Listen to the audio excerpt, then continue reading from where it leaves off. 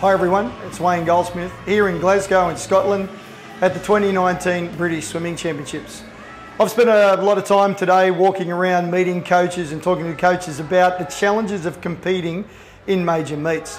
It's interesting, the majority of the conversations focus on mental skills, focus on how do you help swimmers relax before a big meet or how do you help them concentrate in the presence of cameras, the media, and so many people in the stands, and so much pressure and expectations around qualifying for the world champs later this year.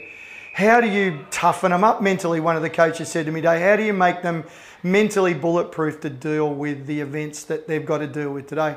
Look, there is no silver bullet for mental toughness, or there's no miracle solution to helping swimmers develop the mental skills that they need to perform under pressure when and where it matters. However, one thing I've learnt over the years is that coaches have got to place more importance on the development of mental skills.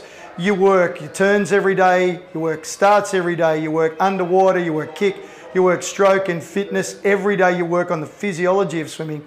It's critically important to include an aspect of mental skills development in everything you do every day. It can be something just as simple as asking swimmers to relax and try to do swimming effortlessly at speed. It can be asking them to concentrate on focus on little things during their training session. It can be talking to them about getting more sleep and how they can relax at night. It can be a range of things.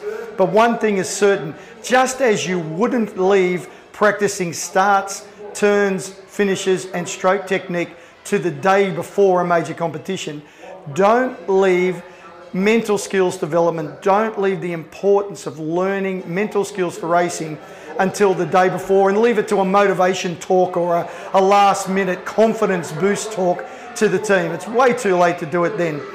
Include an aspect of mental skills development in everything you do every day. And then when the swimmers have got to race well, they can. This is Wayne Goldsmith in Glasgow at the 2019 British Swimming Championships saying enjoy swimming.